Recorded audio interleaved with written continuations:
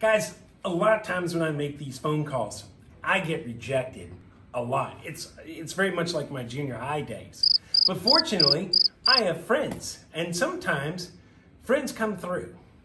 Hey Patrick, is it possible you call up your friend and get him on to our class? Your friend Jerry? Why, sure. I'll call Jerry Bruckheimer. I'll call some friends that know Jerry. They can put you in touch with him.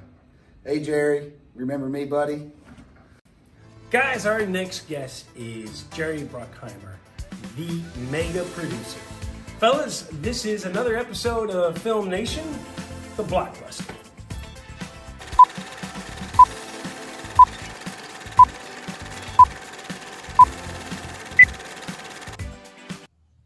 Guys, welcome back to another class. Our next guest is a filmmaker that has had a huge impact in cinema.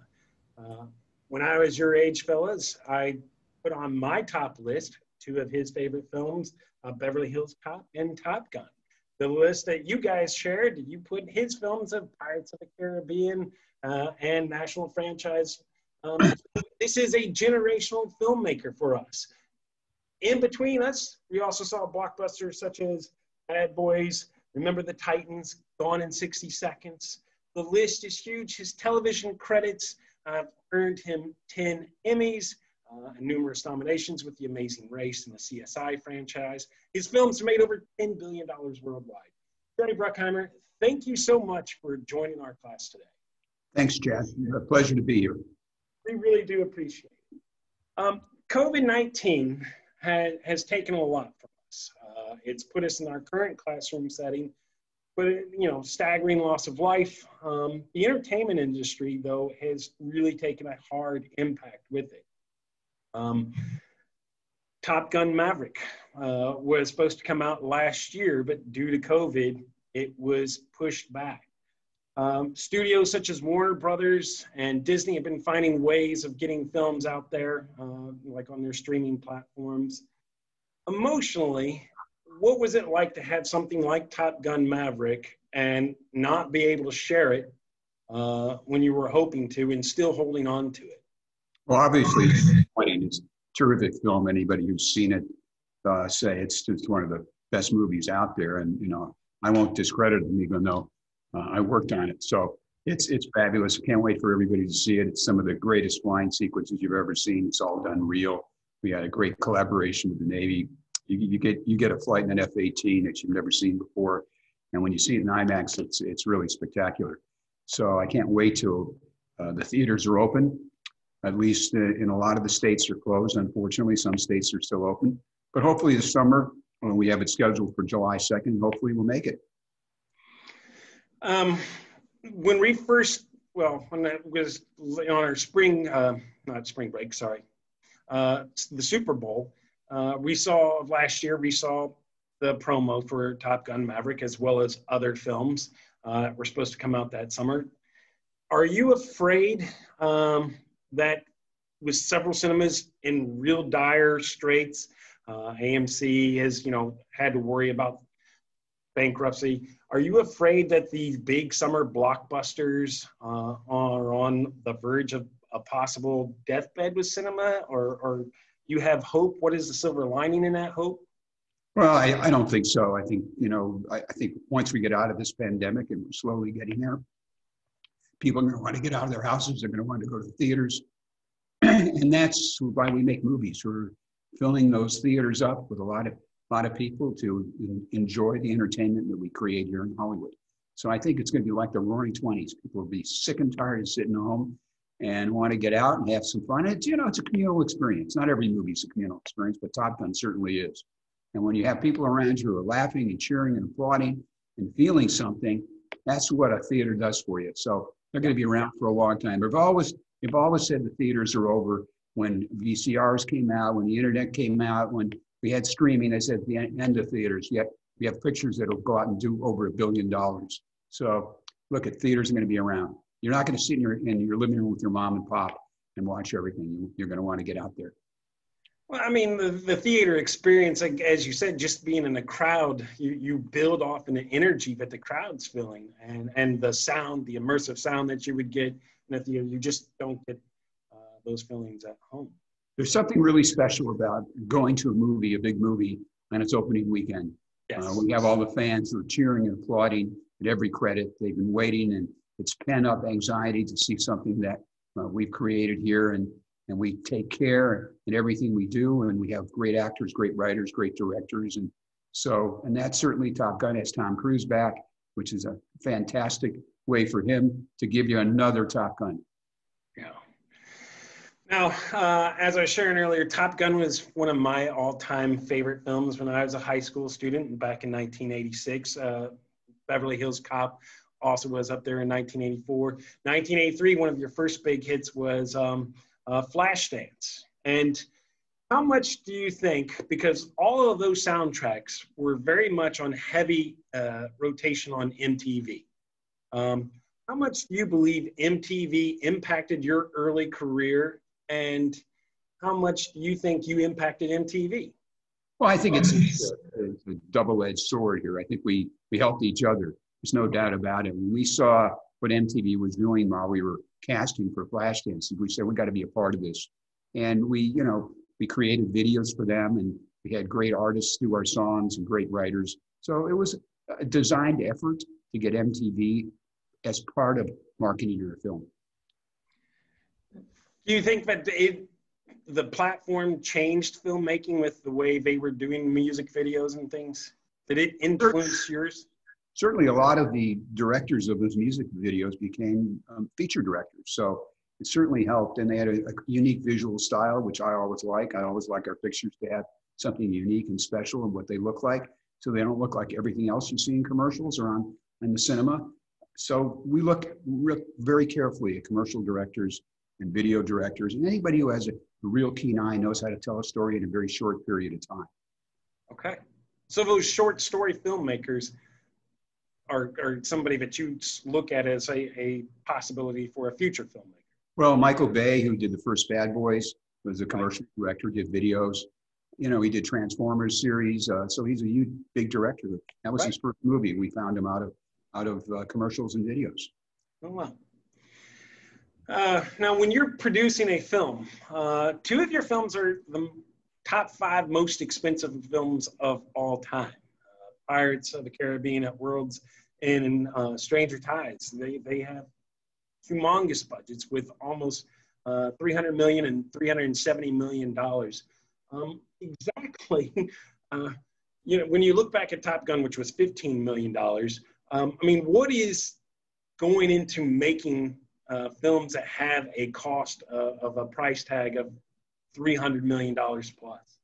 Well, you know, it's, it's anytime you you're on the water, it gets very expensive. Okay. And so Pirates is on the water. Had a lot of visual effects. That's expensive. But you know what's fun about it? It's on the screen. And it, the audience doesn't care what you spend on a movie. They just want to be entertained. And we want to give them the big, biggest bang for their buck. So every penny that we spend on that movie is right up there on the screen. You see Johnny Depp going through all his, all his wonderful antics. Now, are you worried um, with COVID uh, that will that change like some of these higher price tag budget films? Um, are you going to reel it back in just because the theaters haven't got completely open yet? Well, I think we all, they always want to reel it in. It's, it's, since the beginning of time, they want us to spend less money on movies. But unfortunately, you know, labor goes up, everything else goes up, talent right. goes up.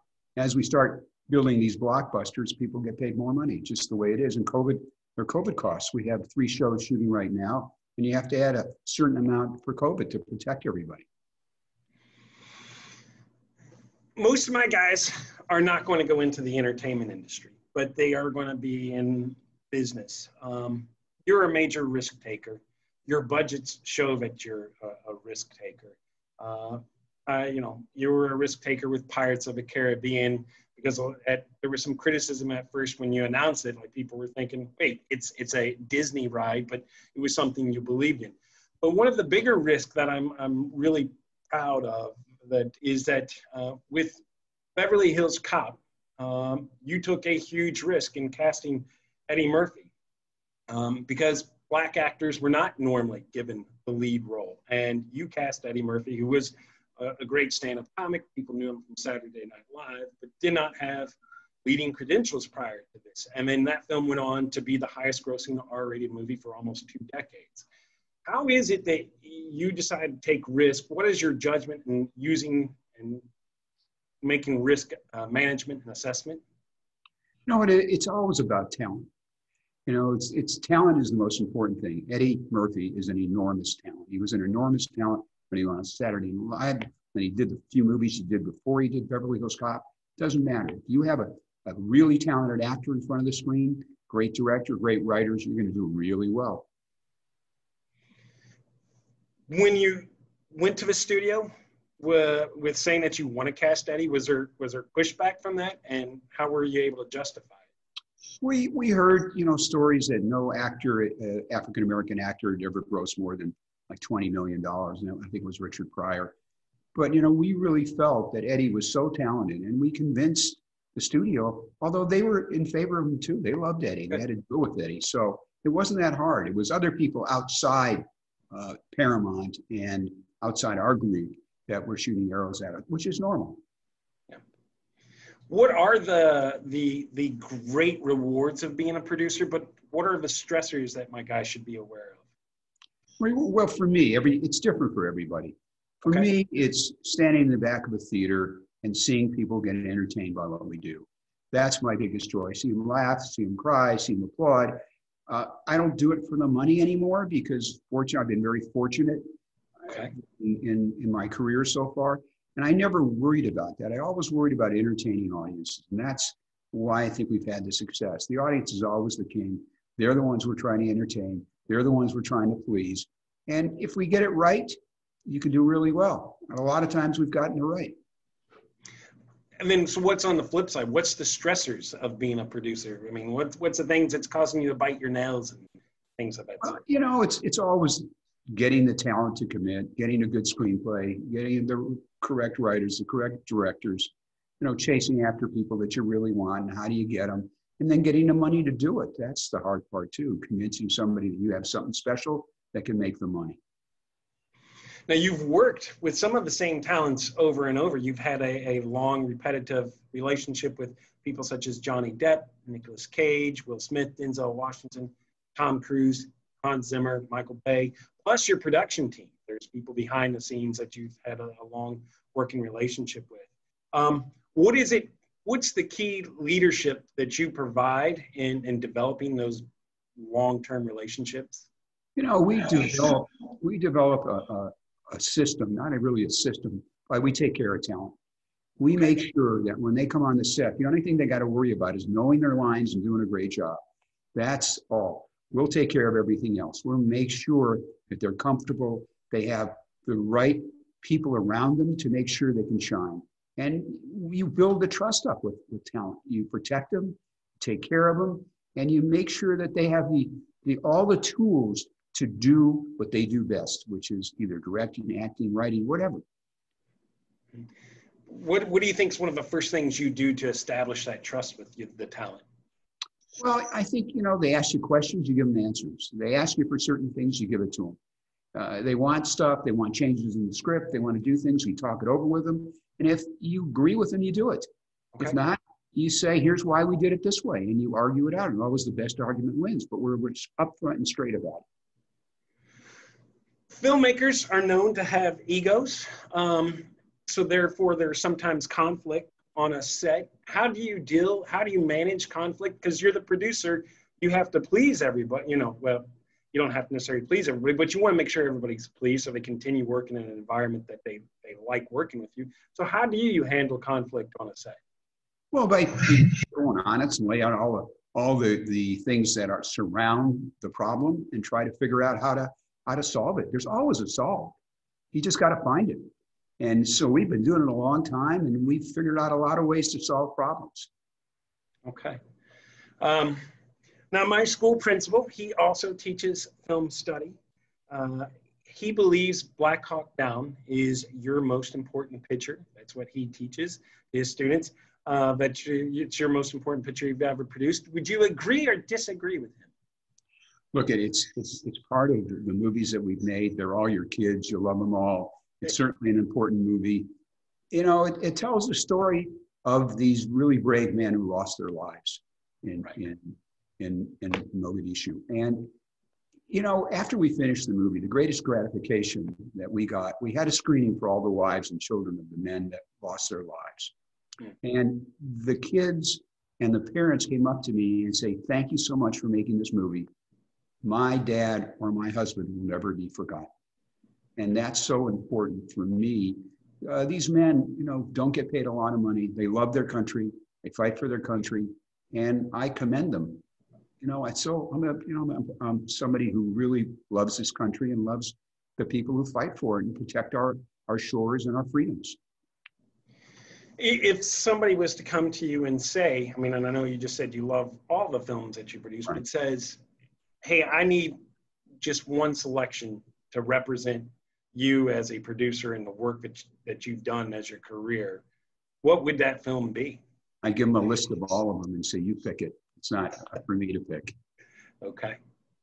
Well, your your films have truly impacted audiences worldwide. I mean, as I've shared, you know, growing up for me, you know, uh, Top Gun was absolutely one of my favorite uh, all-time films. Uh, watching my sons grow up, watching them fall in love with Pirates of the Caribbean franchise, which is what my students have put on their on their top 10 list as one, one of their all-time favorites. So uh, Mr. Bruckheimer, thank you for, for this part. Uh, we've come through the heavy academic questions. Now we are ready for five quick questions. Uh, this is just a quick little game here. Um, quick responses. Are you ready? I'm ready. All right. Question number one. Um, I believe after watching Your Amazing Race, that is the one reality television show I feel like if I was on it, I could compete for the win. What would be your suggestions on winning the Amazing Race? Well, I think you got to watch it. You got to watch what, what other teams did and the mistakes they made. You learn a lot by watching some of the previous episodes. That's the key. Okay. I will recall that if I ever get on there. Question two You're the owner of the NHL's newest franchise, uh, the Seattle Kraken, um, which is about to take the ice here this upcoming season. Congratulations on that. If you could build a machine that would allow you to have any of the all time greats on the ice skating for the Kraken, who would you pick? Well, you know, I'm a I'm a, a big fan of Wayne Gretzky, who's one of the greatest players ever. There are, two, they're two players that, you know, I I one I grew up with and one I watched uh, as a fan, and one was Gordie Howe, who's one Yes. of the greatest players ever, and then there's Wayne. So those two are the, for me, the the, the pinnacle of great talent. Both amazing guys on the ice. And so good luck on this upcoming season. Thanks so much, Fred. Um, you have question number three. Uh, you have a home here in the Commonwealth of Kentucky, uh, and so welcome on, on that part. Um, explain to your fellow filmmakers why they too should also a home here in Kentucky. It's a fantastic state. My wife's from there. We love it. Eh, The people are fantastic. We we have such a nice group of friends there. We have this. We live in right around this little town called Bloomfield. My wife always likes to entertain people and do things right. So we opened a little uh, ice cream parlor called the Double Dip, Double Dip there in, in Bloomfield. So if you ever get out there, stop by the Double Dip. And there's an Ernie's Tavern right next to it. So she's a great entertainer and loves hospitality. And so she, we got some of the best ice cream in the state of Kentucky. So I hope people get out there. Definitely try it. Question number four What is the one film that you love that you wish you would have produced? Well, I love The Godfather. I, you know, that was one of my favorite films. I also love movies like David Lean's my favorite director, one of my favorite directors, I should say. And you know, Bridge on the River Kwai, Doctor Zhivago, some of the great films that he made. Now you know, they're they're back in the time machine, but you know, I look back at those great filmmakers, and they're fabulous storytellers, and they hold up today. Yes. Is there is there any of those classic films that you, uh, when you bring on a new director, that you're like, hey, you should watch this before you make a film? Well, hopefully the directors we pick will have watched those movies. Otherwise, they, they shouldn't be working with us. But, you know, they, they better know of their film history. All right. Quish, fifth question, final question. What has become of Benjamin Franklin Gates? What's he up to? We're working on we're working on a couple. We're working on a film. and working on something maybe for for Disney Plus. But I think a film is, which is coming along quite well. So hopefully we'll get a screenplay shortly that we'll be able to take to the studio and want to make. Very good. Jerry Bruckheimer, thank you so much for joining a part of yeah. our class and being here. We really appreciate it. Pleasure. You know, we got future filmmakers in the audience, I'm sure, and titans of industry. So, and so, some great people, I'm sure, in your classes, and I hope they stay in school and get the best education they can. There's nothing better than getting a great education. It gives you an enormous amount of confidence. And I wish that I would stayed in the little school a little longer. I graduated college, but I'm sure I could have could have gotten a doctorate or or uh, or something else. But school is the best. It is. It's a pretty fun gig to have too, as right. well. So, thank you so much, Jerry. Thanks. Thank you, Jerry, for being a part of this class. Really appreciate it. And for sharing your experiences as a very successful filmmaker with us. We are totally looking forward to Top Gun Maverick upon its summer release after a year delay and wish you well on it. Guys, if you paid attention, you will notice that to be successful, it's about building relationships and setting a good environment. Sometimes you also have to take risk, and risk will require you to do the right things. I was able to be able to get this conversation with having a great relationship with one of my coworkers who had worked with Mr. Bruckheimer in the past. So build those relationships. It's going to be important to your own success in the future. And a number of those relationships that you're going to make in life are going to be relationships that inspire you. One of these, for me, is Nicholas Friebert, a former student of mine who I am very proud of for everything he's accomplished. And so he is going to give us some bonus content because he gets to talk to Jerry Bruckheimer and ask three more very important questions. So, guys, stick around for that. As always, fellas, remain awesome, be nice, stay safe. I'll see you soon, guys. All right, Nikki, it's your turn to take the floor. Go get him.